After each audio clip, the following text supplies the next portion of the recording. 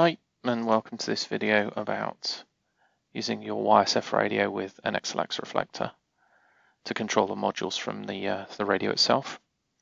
You need an XLX reflector that supports this feature so uh, we're going to use XLX 201 for the demo today.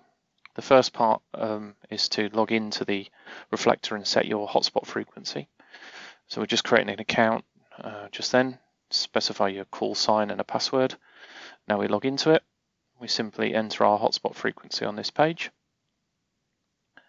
Uh, we're using a simplex hotspot here, so it's going to be the same for both.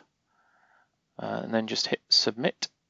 Uh, and that will create our account and set us up on the reflector. We just need to wait about 15 minutes now, and then we'll go across to the radio. So on the radio, uh, use the long, uh, press the X button to um, connect to the wires X. we're using our Pi-Star so once the uh, comes back, we use search and direct to find the reflector itself. Um, we're going to go to 201, like I said, so we use uh, numbers 201, wait for that to uh, come back. Takes a couple of seconds. Once that's back, uh, we select the 201 itself. Uh, it says XLX reflect on it, that's the one. Hit that. So now we're going to be connecting using WiresX to the default module on this reflector. Uh, we, we want to be able to change that though, so we uh, long press the X button uh, to exit the wires interface, and then we tap it again to go back in. But now we're sending wires commands to the reflector, not to the local Pi-Star.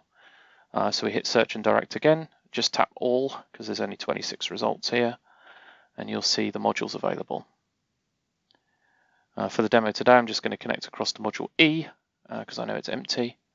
I won't be disturbing anyone. So we'll select E there and tap. And now we're connected to module E. Uh, you'll be able to key up and have a QSO on your module that you've chosen. When you're done and you want to exit out from the reflector, long press the X button to go back to the main page. Key up, tap DTMF and press hash. Uh, I can't show you that because I'm holding the camera with one hand, but uh, hope that's useful. Cheers. Bye bye.